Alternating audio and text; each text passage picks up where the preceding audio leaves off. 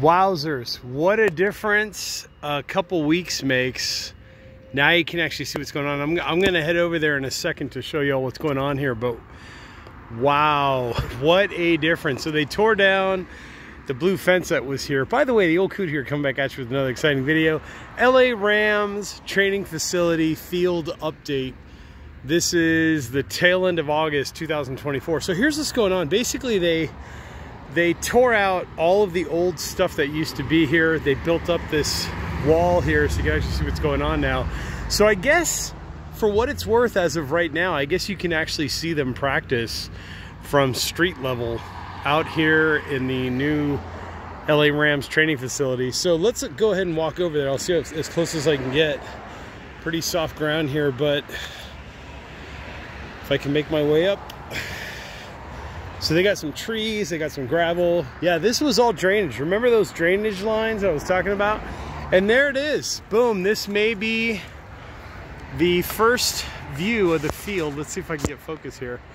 There you go. So there's a little bit of the layout, what's going on. You got some trailers over there, uh, some new construction. Basically the poles are up now for the lights. They've got the lights up there too for the field to light up at night, I guess.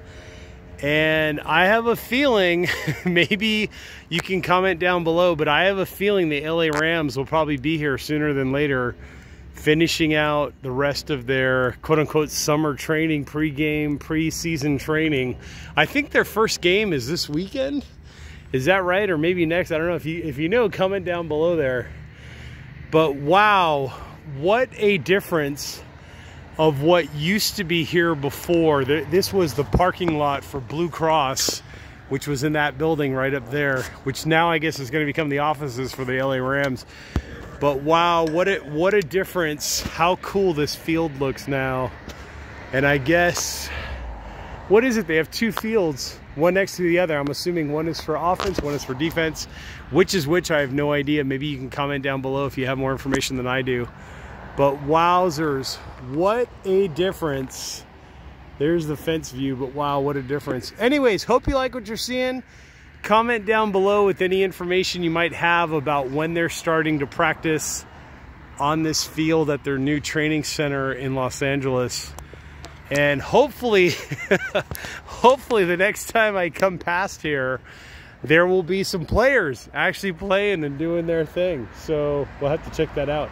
But anyways, let me show you all what this looks like now. So this is what was behind the blue, the blue fencing that was over there. So this would be kind of cool to see what happens. Anyways, hit that like button, comment down below, check out some cool links in the description for some cool stuff, and I will catch you all on the next exciting video.